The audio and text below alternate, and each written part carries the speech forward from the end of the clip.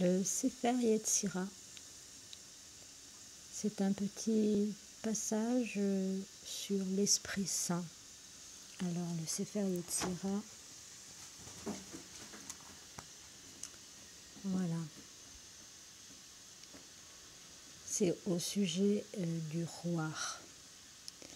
La voix, le souffle et la parole montrent l'union de Hokma et de Bina à travers la roi Elohim en Atzilut.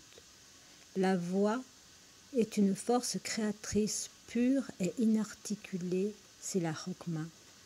La voix est une allusion au premier verset de la Genèse du commencement Elohim créa, où il n'y a pas de modulation de son.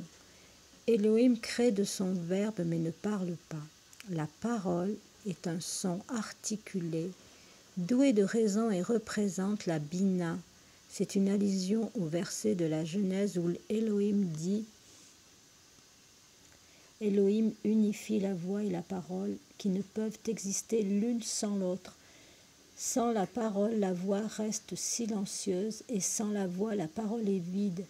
C'est pourquoi la pratique du cerveau cherche à réunir la voix, qui est l'être, le souffle, qui est la présence divine, et la parole, les combinaisons de l'être.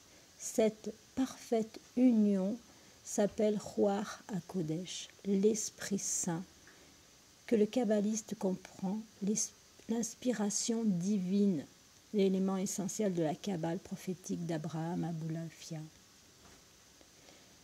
La relation entre le souffle d'Elohim vivant et le souffle de la parole créatrice est développée dans le Zohar.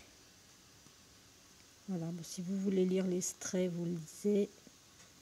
En fait, le souffle, la voix, la parole, c'est l'Esprit Saint. Le souffle, dans le, bouddhisme tibétain Bön, on travaille sur les souffles et le souffle au niveau le plus subtil c'est de la lumière.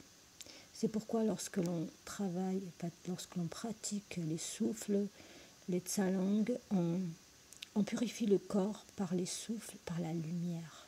C'est très efficace et surtout, euh,